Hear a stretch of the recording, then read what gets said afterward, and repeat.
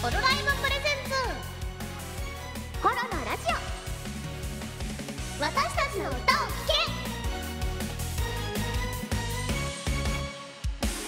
おいしょいどうもホロライブの清楚担当みんなのアイドル夏色祭りと。フグがとても美味しいと感じて月一で通ってる白神吹雪です。フグうまいよね。フグ美味しいよね。ということでこの番組は、ホロライブに所属するメンバーが交代しながらパーソナリティとしてスキルを学んでいく番組です。今週はかわいいかわいい白神吹雪と夏色祭りが担当します。かわいいね赤ちゃんになっちゃった赤ちゃんねはいということで8月も半ばということでお盆シーズンでございますけども。お盆でございますわ夏ね、休みでございますねそうですね。そろそろ夏休みといえば、夏休みといえば？かき氷。ああいいですね。他には？他には？アイスクリーム。他には？そうめん。もう食べ物ばっかり。夏祭りとかあるよって。あーそうか。もう食べることしか 完全に今食べ物。まあ確かにねアイスもかき氷もそうめんも食べたいですけども、うん美味しいよ。ね美味しいな。白神は夏といえば何が好き？食べ物とか何でも。あ食べ物か。でもやっぱね、うん。屋台ってか出店が出るからさお祭りで、うんうんうんその屋台で食べるりんご飴とかが結構好き。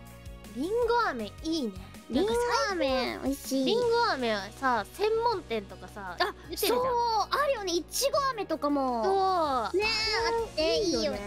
いいよね。可愛いし。ねあでもまああとはあのお化け屋敷とかねあるから。あーね。ああね。あるからね。なんかそういうのもいいよねっていう。一人で行きな。一人で行っても楽しくないよ。白神は誰かと一緒に行く方が楽しい派だなアキロゼ連れてこアキロゼ連れてこもうううわーしか言わないよ。うわーしかミオアキロゼ白神吹雪で行って。まつりちゃんもじゃ入れてまつりちゃんも入れるあーやもう三人で後ろで後ろで3人の絶叫を聞きながら進んでいく怖すぎるなそれは。それでどっちかって3人のお化けより3人のが怖いからね。そうだよね。大きい声出したらびっくりしちゃう。そう。何もないとこでもうなんかわーって言いそうだから出てきた時げっそりしてそう。なんかマイナス5キロくらい痩せそうな気がするね。確かに。ということで、早速始めていきましょう。はい。春のラジオ本日もせーの。私たちの歌を聴けホ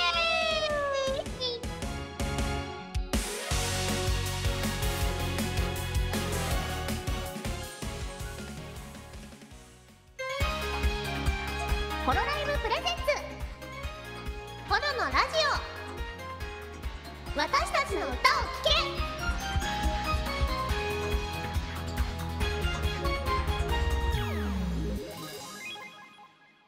改めまして夏色祭りとバブバブ吹雪でしゅあバブだね。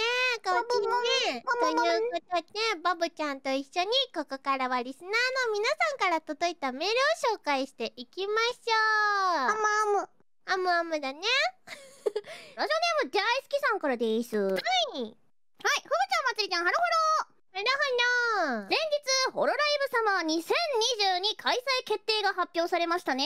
はい。ありましたね。待ちに待ったホロライブサマーが帰ってくるということで今からとっても楽しみです、過去のホロライブサマーで見たふぶきちゃんの清楚な水着姿やまつりちゃんの健康的な小麦色の肌は今も脳裏に焼き付いています。はいいいですね。ホロライブはコミックマーケット100にも出展されるということで、今年の夏も暑くなりそうですね。いいですね。ちなみにお二人は、もしまだ水着を持っていないホロメンの水着姿が見られるとしたら、誰の水着を見てみたいですか？なるほどなるほど誰のうーん。いやー、個人的にいいですか？じゃあ。はいラプラスダークネス。わかるあ、じゃあ、すく水だ、きっと。すく水だね。すく水で多分あのルイネが書いてくれたあのラプラスっていう ゼッケンゼッそうそうゼッケンをねつけて多分。祭り的には自分でめっちゃ汚いこう、わかった書いたそれもいい。坂端に書いてもらうのもいい。読めない。古代文字みたいあの子じゃんってなっちゃうから。うわ確かに。えでも味があって好きなんだよな坂本文字。そうだね。あれフォントにしてほしいね、そうあれフォントで配布してほしいけども。私はありますか？そうですね。A ちゃんとか。ホロメンん？まあホロメンえー、どっちがってんだったらのどかちゃんがいいな。ああそうだねでも A ちゃんはさでもなんとなくだけど上に T シャツ着る派っぽい。あー着てでそうなんだよな。下にしっかり水着は用意してるけどもなんか私がここを出るのもあれだしなんか言われない限り私は脱ぎませんみたいなプライドを持ってそう。そう そういうねはい、はいじゃあ続いてまつりちゃんの紹介お願いします、えー、ラジオネームブルートラックさんからいただきました。ありがとうございます。ありがとうございます。はい。まつりちゃんふぶきちゃんこんこんわしょい。こんこんわしょいえー夏色吹雪でラジオをすると知り最近過去のアーカイブを見ているのですが何やらアイドルポイントというものがありたまったら何でも願いを叶えてくれるとかなんとかうん。ここで聞きたいのですが一つだけどんな願いでも叶えてくれるならどんなことをお願いするのか教えていただきたいですとのことです。あーなるほど。なんでもちょっと現実離れしたことでもいいのかな？あいいんでしょいいでしょあーなんかホロライブ星っていう星が 欲しい。星が欲しい。大きく出たね。そう。国とかじゃなくて星？そう。星が欲しい。ダジャレ？わけじゃないんだけどなんかその、うん。もうそこの星に行けばなんかみんなのいろいろこうなんか大陸とかがあってさ、はいはいはい。そうそうなんかすごいもう広いそういう規模での、うん。なんかやあのーまあ、国国とかだと狭いのでね星使った何か欲しいですね。えー、そうそうそうそう、ホロライブ性が欲しいです。すごいわそれは。ホロライブ一色なんだ、あそうそうホロライブ性みんなであの地球から遊びに来てくださいって。いいね。うんぜひぜひ。おもろいわ。星欲しいです。はい。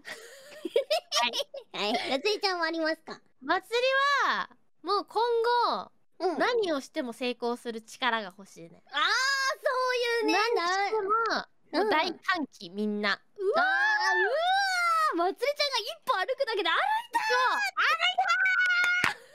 ていうもう全人類祭りの信者みたいなうわ 熱狂的なファンになってほしい。ああ、なるほどね。それだね。全人類から愛されるのが。ああ、いいね、それは。今日、今日もニュースになるんです。今日まつりちゃんが立ちました。本日の夏色祭りのご飯をあのお知らせしますって言ってみんなそれを食べる。みんなそれを、今日まつりちゃんこれ食べてるんだ。お弁当もお惣菜も、バーっつって。そうめっちゃ売れるそれが。寿司食べたら寿司がめっちゃ売れるその私が食べたネタがやたら売れて売り切れですっていう。そうやばいなそれーくらいになりたいですね。いやすごいな、ちょっと見てみたいなそれはそれで。やってほしいですなはい。はい。ということで、以上ですか？はい、以上ですね。ありがとうございます。たくさんのお便りありがとうございます。えー引き続き、松井たちホロライブメンバーへのメッセージ、楽曲の感想や番組へのツッコミなどなど何でもお待ちしておりますので、たくさん送ってください。ホロライブプレゼンツホロのラジオ私たちの歌を聴け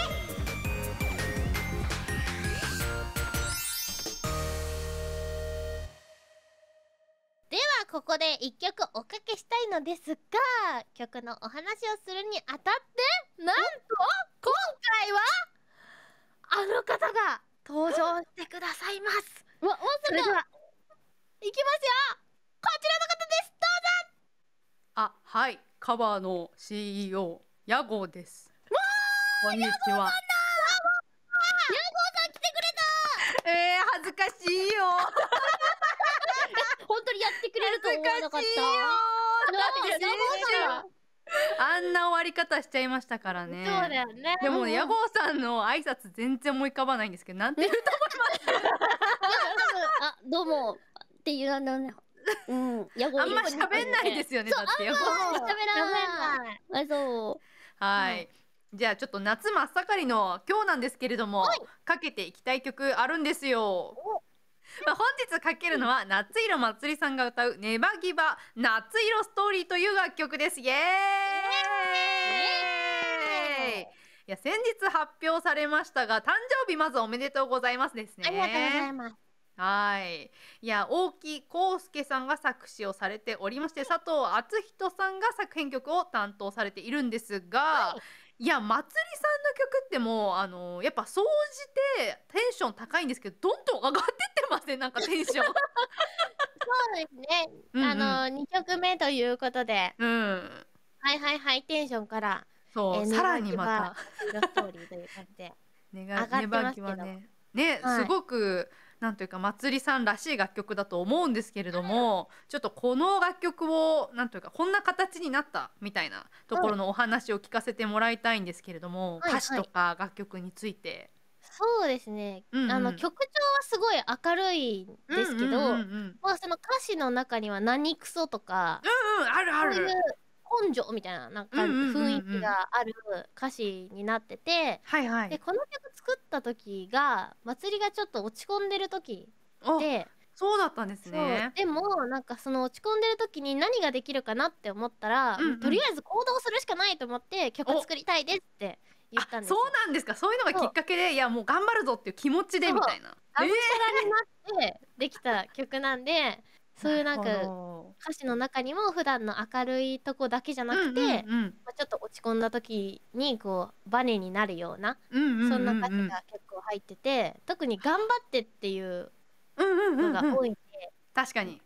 そのなんだろうな落ち込んだ時はもう頑張るしかないの一本だったっていうのもあるしだからその明るい中でうんうん。こうど根性を見せているそんなね感じになっております。おーなるほど、はい。なんか基本的にやっぱり楽曲ってこうなんかちょっとこう楽しいみたいな気持ちから作ることもあるけどこう逆にね、そういうネガティブな感情をそちょっとえ跳ね返してやるぞみたいな気合みたいな感じでね、うん。作ることもあると思うんですけどそっちだったんですね。そうなんですよ。曲調は明るいんでねなるほどあんま感じい、ないと思うんですけど、確かに確かに。うん。まつりさんのなんかこう聞いててそのエピソードがすごいまつりさんらしいというか落ち込む時になんか静かに隅っこで落ち込むタイプの人もいると思うんですけど、まつりさんの場合はこうとりあえず行動するかってなるんですね。そうそうですね。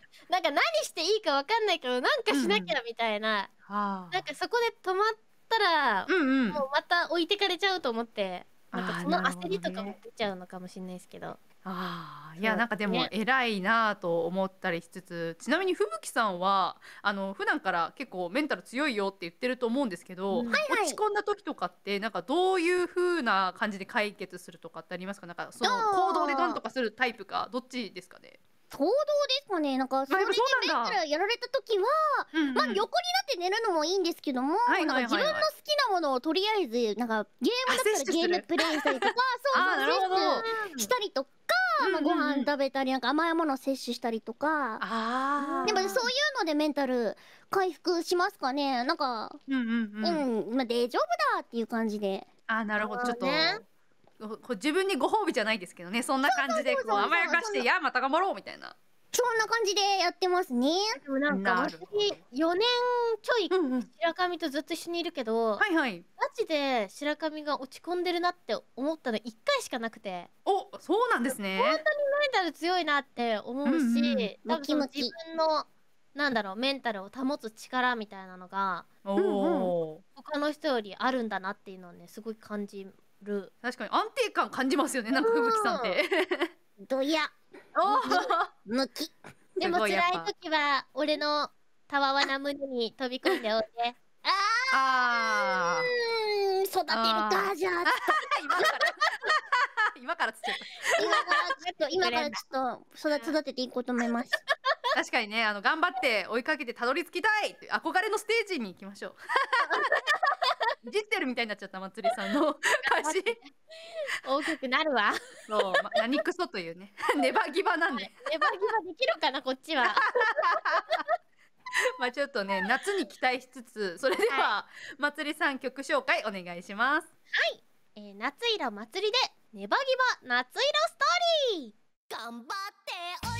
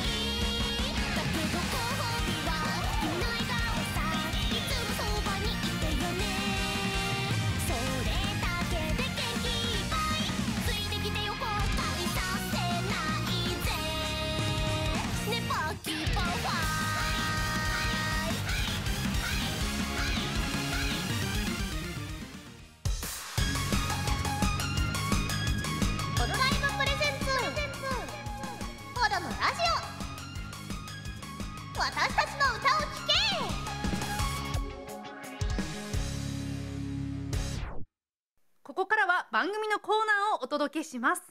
パーソナリティチャレンジプロジェクト。はい。チャレンジしていきましょう。お二人とも、ーい。いけなんだ？あれ？なんだ？これは。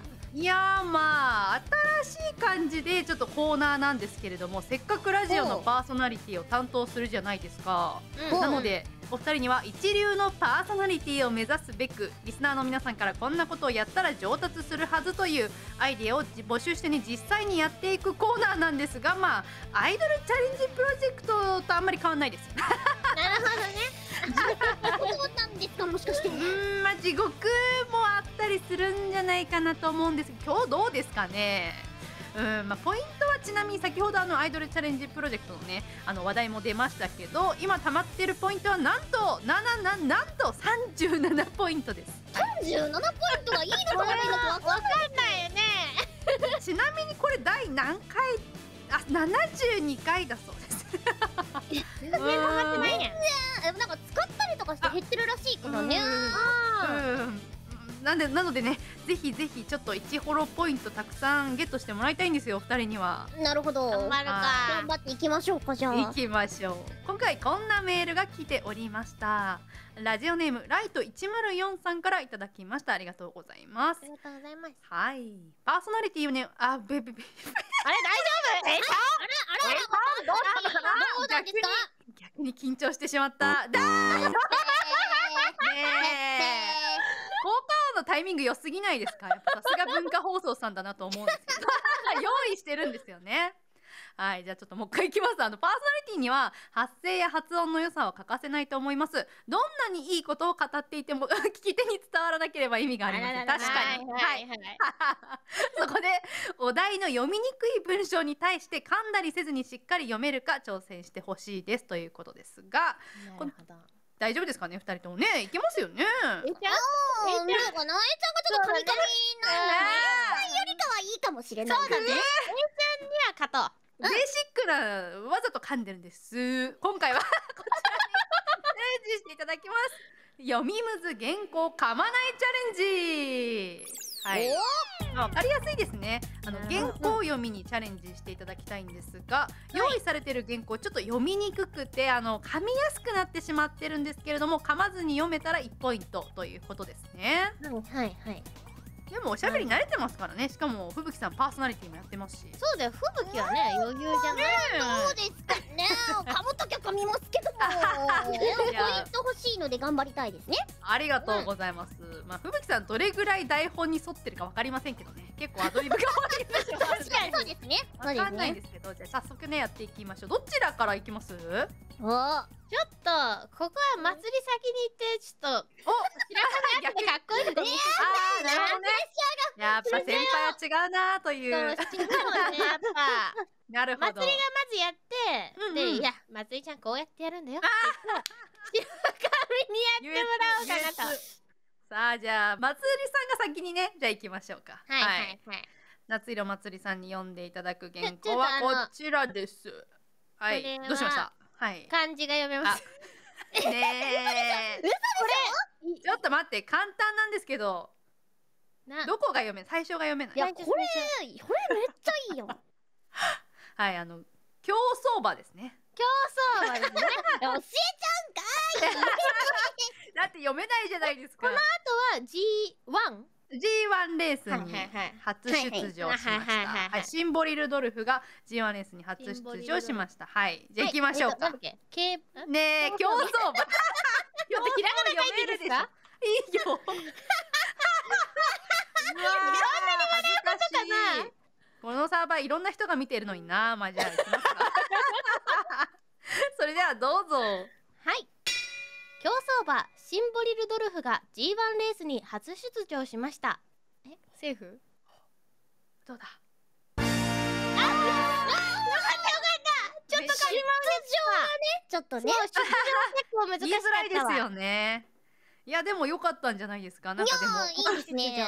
ファンファーレがねめちゃめちゃあのなんというかギャグなんですが。あ一回読み上げてくださいだって。私にあなるほど。あよえ避けたのバレた？おいおいおいおい。一回あのお題を私に読み上げろというスタッフさんのあの厳しいはい指示が出ましたので、い、や避けてたんですけどね。まあ確かにわからないんでね。そうですね。ちょっと読みます。読んでそうだ漢字が読めないから読むなぐわかりました。じゃあ次行きましょう。吹雪さん読んでいただく原稿はこちらです。うわ長い。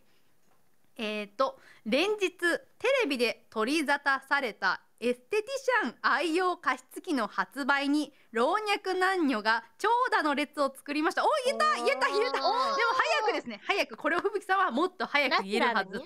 そうナチュラルにね。なるほど。結構長い取りですね。沙汰されてやばいですね。なあでも言えたじゃないですかやばい今。ねあさあじゃあ心の準備ができましたら どうぞ。ー大丈夫です。いきます。いきまどうぞ。すはい。よし。連日テレビで取り沙汰されたエステティシャン愛用加湿器の発売にえー、でもね老若 老若男女が長蛇の列を作りました。お判定は？あダメかごめん。なさい。もう一回行きましょうどうぞどうぞもうもう一回もうちょちょうんうんうんい。きますよい。きますよ、ねどうぞどうぞえー連日テレビで取り沙汰されたエステティシャン愛用加湿器の発売に老若男女が長蛇の列を作りました。かわいい。老若男女言いづらいですね。ねもうちょっとゆっくり喋ればよかったです。あーでもすごいナイスチャレンジですよ。ねさすがだと思いましたまだある？あまだあるまだある。ある。おどちら行きますか？あじゃあフークさん行く？わかりました。行きましじょう。ゃあちょっとお題読み上げますね、はい。上司から新春シャンソンショーの見学と中小商工業振興会議の出席を急遽却下されむしゃくしゃしました。なんだこれ絶対早口言葉めっちゃ入れてますねこれね。ないって聞いてたのにね。じゃあ吹雪さん行きますか。よし上司から新春三尊賞の見学と中小商工業振興会議の出席を急遽却下されむしゃくしゃしました。おおおいいんじゃないか。あ新春三尊賞だ新春三三尊賞三尊賞シャンソンショーあー言いだんだん混ざってくる。ちょっと。シャンソン賞あ却下が却下になってたって？そこか。え上司から新春三尊賞の見学と中小商工商工業振興会議の出席を急遽却下された却下された急遽却下いや難しい。ちなみにまつりさんもちょっとやってみますか？やってみましょうか。二人で夏色吹雪でね。ぜひぜひ。いきます。はい。上司から新春シャンソンショーの見学と中小商工業漢字がちょ 中小商工業振興会議か。いきます。上司から新春シャンソンショーの見学と中小商工業振興会議の出席を急遽か却下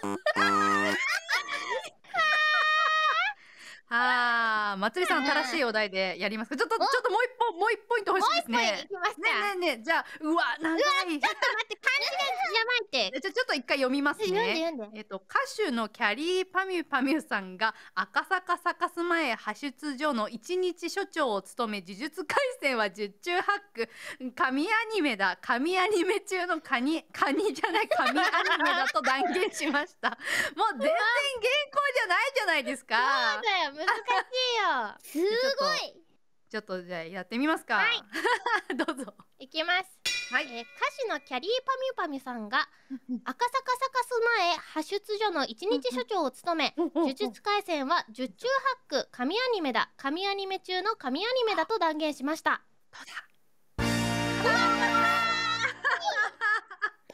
気持ちいい。気持ちいいわこれ。これ気持ちいいですね。ターンって。いいねまあ、こんな原稿言うことないんですけど終了です。言わないよ言わないですね。あ、はいプラス2ポイントでやった39ポイントイエイまつりちゃんが稼いでくれました ありがとうございます。でもいい感じやっぱりお二人とも上手だったんでどんどん難しくなってきましたね、原稿が。とんでもめちゃめちゃ難しいよいやリハと違ったな。おかしいなおかしいな。ということでねこんな感じでホロライブのタレントにラジオパーソナリティとして挑戦してほしいことをお待ちしております。以上パーソナリティチャレンジプロジェクトのコーナーでした。ホロライブプレゼンツホロのラジオ私たちの歌を聴け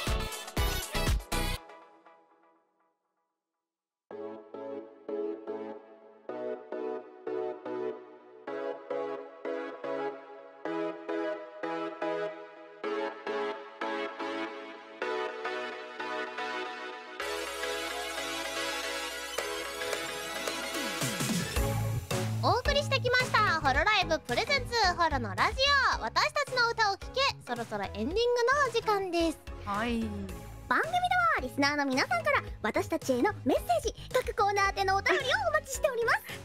メールの宛先はすべて小文字で歌聞けアットマーク JOQR.net 歌聞けアットマーク JOQR.net です。歌聞けはそのままローマ字で送ってくれれば OK ですはいまたこの番組は番組のアーカイブを文化放送 VMR チャンネルに後日アップしていきますのでそちらもぜひチェック チェックしてくださいね。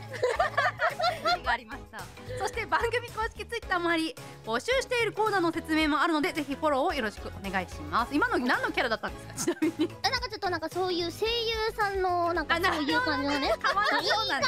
いい感じのやつねなるほど、なるほど、高めにね。そういう感じの味でございましたけどもとい。うことで、はい。なんと我々今回でバイということなんですもんね。バイバイあーやだでもが寂しい白神吹雪とじゃあこの後は二人でイチャイチャするタイムということで我々のい私たちのイチャイチャを聞きと。ということで、えー今回はこの辺でお別れとなります、お相手は夏色まつりと屋号と。あれ？あそして野号でした。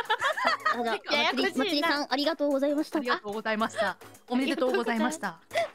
はい、閉めちゃってください。はい、ということで、次回も。私。